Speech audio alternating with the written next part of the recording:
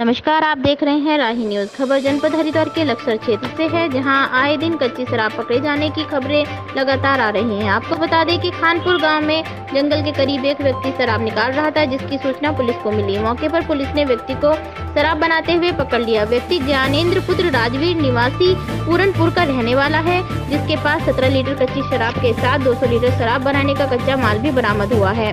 व्यक्ति को पुलिस ने चलान कर जेल भेज दिया। लक्सर से हमारे संवाददाता जॉनी की रिपोर्ट। है खानपुर लक्सर मार्ग पे अल्फ़ा फैक्ट्री से खेड़ी जो खुद जाने रास्ता है। इससे जो है एक ज्ञानेंद्र बाप का नाम है राजवीर निवासी है पूरनपुर का।